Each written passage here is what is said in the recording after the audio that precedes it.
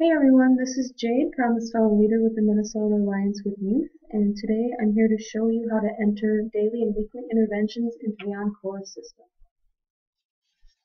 So the first step is to log in. And once you're on your home page, you go to Reporting, uh, Submit Reports, click on Student Tracking, and then whichever student you want to add an intervention for, you will click on Add Weekly Intervention for that student. Uh, make sure you click on the correct week that you're entering this intervention for. Um, so I'll just stick with the current week to keep it simple as an example.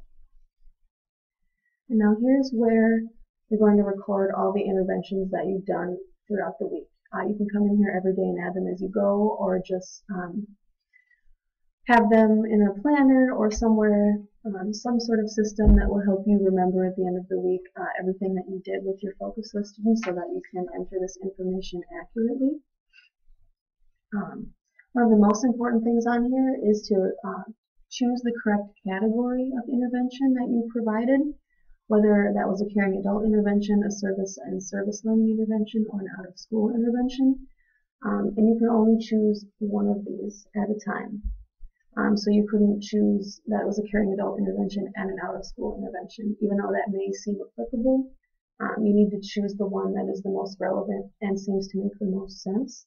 And it's also important to know that service and service learning is the only one um, of the three categories that is timeless. Um, so service learning and service could be taking place during school or after school or somewhere completely different.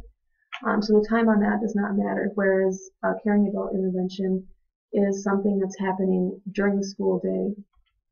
Um, and out of school is something that's happening after the school day um, or somewhere other than the school.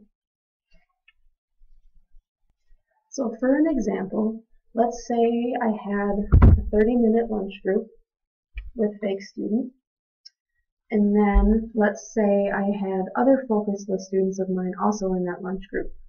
You can click on select group and make it a group intervention. So let's say all four of these other students were there as well. So I click on all the ones that were involved and then click on save involved.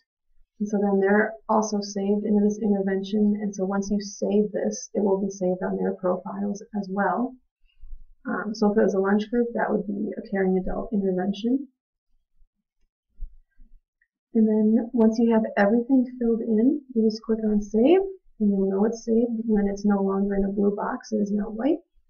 And then if you had another intervention that happened the same day, which is totally possible and will happen a lot, you would simply click on add new and then this screen will come up again in blue and then you'll enter that information and then if you had another one you click add new again and then you would be able to scroll between them and see all the interventions that happened that day um, and if you ever mistakenly add an intervention, you can always delete it. It will remove it from the entire system.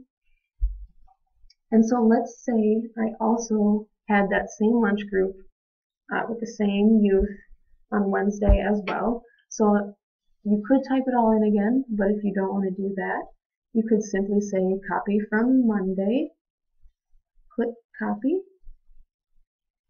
and then now this is copied everything from over here and you can make sure that that intervention group followed as well because it says four students are currently saved here as well as over here.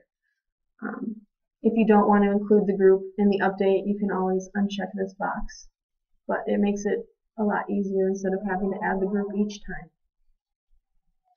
And it's important to note that if you edit this group intervention, all of the students that you attach to it will also update only if this box is checked below that you include the group in the update. So if you're changing something just for one student and you don't want to update the intervention for everyone else, you can uncheck this box. So then once I've copied that lunch group information from Monday into Wednesday, I can click Save. And then that will be saved.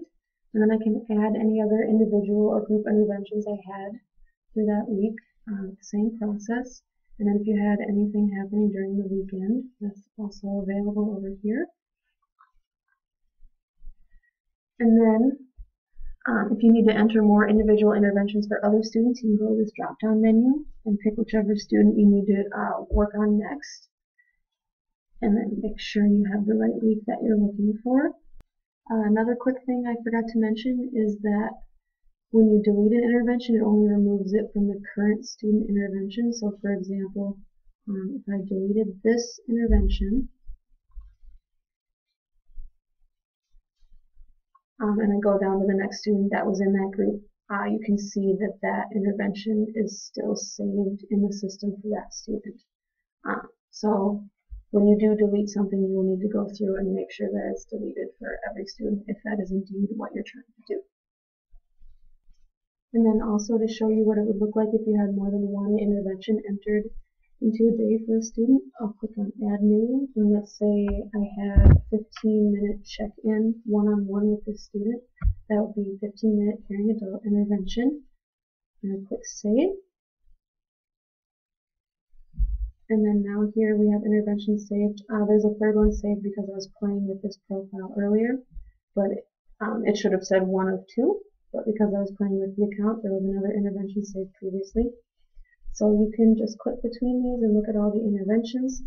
Um, and then you'll see this green check mark, which will confirm that your interventions indeed have been saved. And ideally, we would like you to have at least one intervention a week per student, but we know that's not always doable um, for a number of reasons. Um, so don't um, get worried if you see the red X up here for a couple weeks um, for whatever reason. If it's a legitimate reason, um, don't worry about that. Just enter all of the interventions that you have done. Uh, so that is everything about entering interventions. Uh, if you have any other questions, uh, please feel free to reach out to your trainer. Thank you.